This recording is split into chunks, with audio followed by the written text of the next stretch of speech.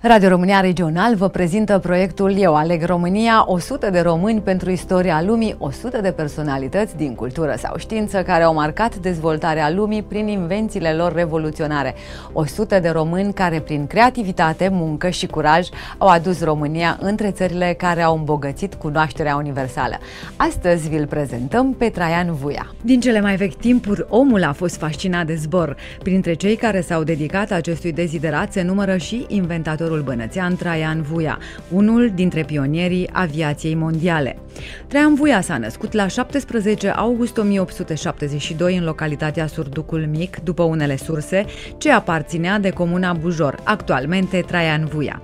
Începe școala în localitatea natală și își continuă studiile la școala germană din Făget. Liceul a absolvit la Lugoj.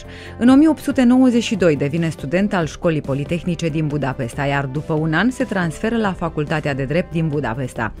Traian Vuia a lucrat din 1895 la biroul avocațional al lui Coriolan Bredicianu, care de-a lungul timpului îl susține în realizarea proiectelor inginerești. Devine doctor în drept în 1901, Traian Vuia publică în presă diverse articole. Pentru împlinirea visului de a realiza primul aparat de zbor mai greu decât aerul prin mijloace mecanice, Traian Vuia pleacă în Franța la 27 iunie 1902. Un an mai târziu, marele inventator român depune un memoriu proiect de aeroplan automobil. La 16 octombrie în același an primește brevetul de invenție al aeroplanului automobil. Peste șase luni intră în posesia unui brevet emis în Marea Britanie.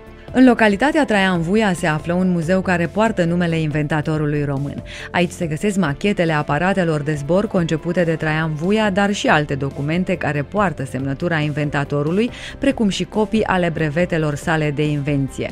Printre exponate se află și o copie funcțională a aparatului Vuia 1 realizată de Fundația Academică Culturală Timișoara, despre care vorbește muzeograful Daniel Andrețescu. Este construit în anul 2006. Probele de zbor zbor uh, s-a făcut tot în 2006. S-a zburat cu el un metru înălțime pe o distanță de 12 metri. Visul marelui inventator Traian Vuia a devenit realitate.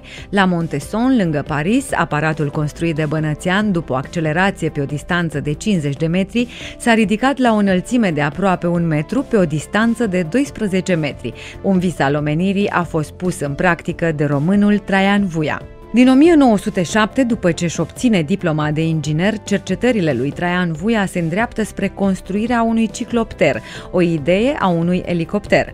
Realizează două aparate, iar machetele acestora se află la Muzeul Traian Vuia din localitatea care poartă numele inventatorului. La 2 septembrie 1950 încetează din viață și este înmormântat la cimitirul Belu din București. V-am prezentat astăzi activitatea și descoperirea lui Traian Vuia în cadrul proiectului Eu aleg România 100 de români pentru istoria lumii. Acesta nu este un clasament, iar lista rămâne deschisă. Așteptăm propunerile voastre pe site-ul eualegromânia.ro. Mâine, Radio România Regional vă invită să cunoașteți o nouă personalitate care a marcat știința sau cultura mondială.